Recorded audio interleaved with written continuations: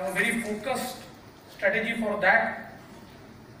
It's ambitious but achievable, and we are heading towards that. In fact, uh, I would also like to mention here that Maharashtra has been the most favored destination for foreign direct investment. And uh, last year we attracted 42% of the entire foreign direct investment that came to India. And on a earlier year, it was around 49%. So the global investors have shown great faith in Maharashtra and uh, we have been for past four years working on ease of doing business to a large extent so that investments are hassle free and uh, we try to partner with the investors so that uh, their entire experience here is, is absolutely hassle free. Today, I've been told to speak on the inclusion dynamics for a digital wireframe for all.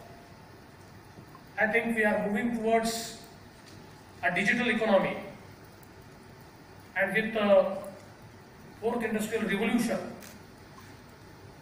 more and more digital capabilities are being established and the biggest contributor in years to come to any nation's GDP will be its digital economy.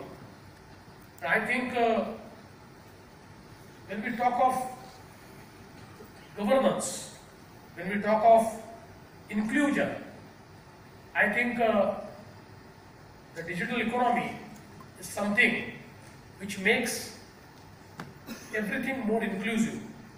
I think for uh,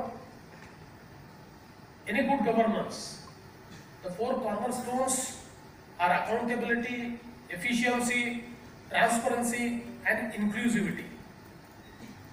And uh, all these four can be achieved by digital transformation.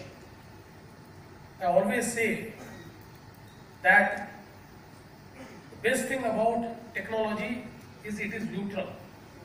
It has no biases, no gender bias, no caste, color, creed, or any economic status.